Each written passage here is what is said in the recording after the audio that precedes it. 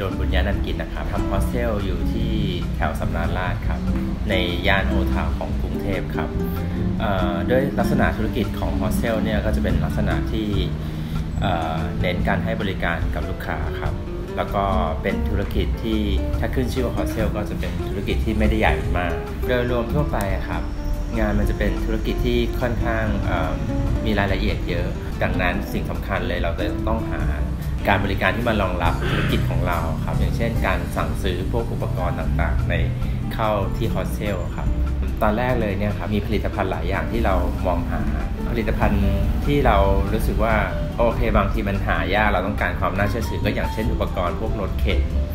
ที่มาใช้ในโฮสเทลเนี่ยครับก็คือสำคัญมากลองไป search ในอินเทอร์เน็ตดู แล้วก็เจอของเจนบรรเจิดครับ ก็คือสิ่งสำคัญคือเรารู้สึกว่าบริษัทน่าเชื่อถือรีวิวแล้วก็ตัวเว็บไซต์เองก็ดูน่าเชื่อถือครับ ก็เลยลองใช้บริการดู การบริการของเจนบันเจิดก็ที่ใช้มาก็บริการดีมากเลยครับ คือเรารู้สึกว่าเราอุ่นใจแน่นอนว่าเหมือนมีผู้ช่วย เพราะเราเป็นเป็นธุรกิจที่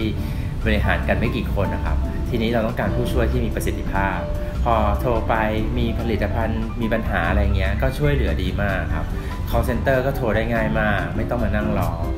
แล้วก็อีกอย่างหนึ่งการจัดส่งครับ การจัดส่งก็จัดส่งรวดเร็ว ไม่ต้องมานั่งตามหรืออะไรเลยครับ บอกว่ามาส่งวันนี้ก็คือมาส่งวันนี้เลย ก็คือเรียกว่าค่อนข้างสบายใจแล้วก็อุ่นใจครับ